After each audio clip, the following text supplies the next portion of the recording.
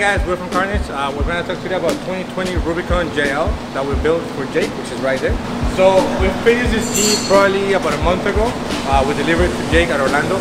So he never saw the Jeep until the day we gave him the Jeep, right? Yeah, yeah. I ordered it from the dealership, and then you went over. He bought it on Amazon.com, Right, straight here. selected Jeep JL, and then they just shipped it.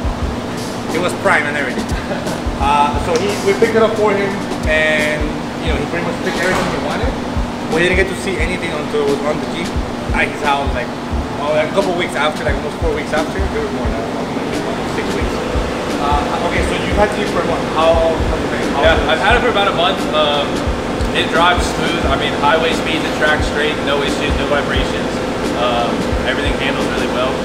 So, uh, real happy with how it turned out. The guys here did a great job. So do you want to show? Yeah, I, yeah.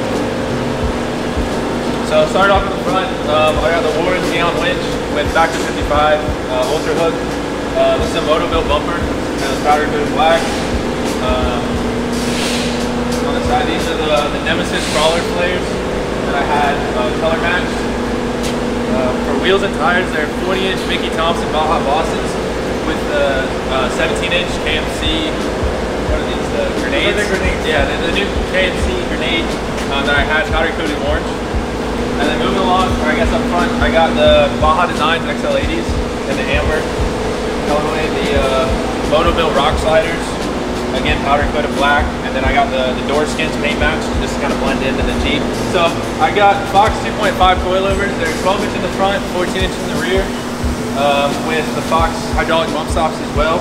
Everything was, all the factory brackets were cut off, and the guys here at Karnage welded in uh, new shock towers and mounts for the for the bumps. Um, it's a Rock Krawler Adventure Series long arm kit and uh, no limit sway bar links in the front. And then again, same thing, Nemesis crawler flared rear. Um, the only thing different here is actually I got the rear Currie anti-rocks.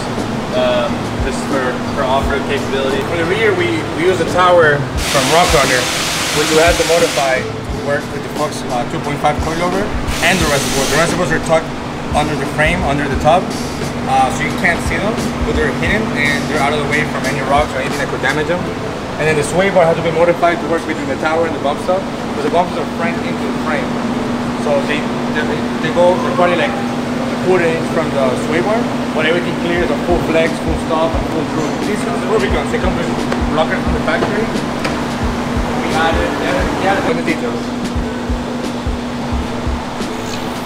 And then I got the 10 pound power tank mounted up on the roll bar. And then these bags are from uh, XG Cargo.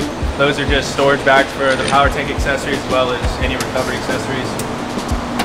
Now, this is cool. I didn't see that. Yeah, I got that too. The trail gator from Outback Adventure Products.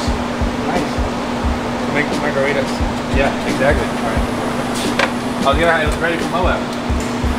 Well, so that's the next thing we want to talk about.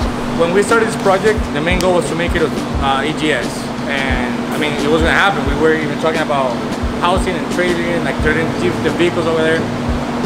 But you know, it happened.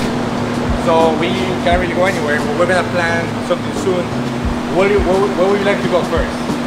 Um, I know you had mentioned either Tennessee or somewhere in Georgia. Uh, we we talk about Windrock or River Rock or Coaches or AOP. yeah. It's all within decent amount of driving for us.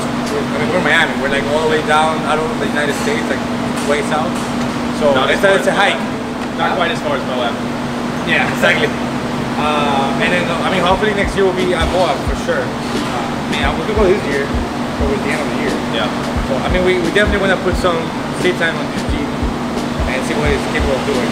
All right, so this kind of concludes uh, the JL build for Jake. Thank you guys.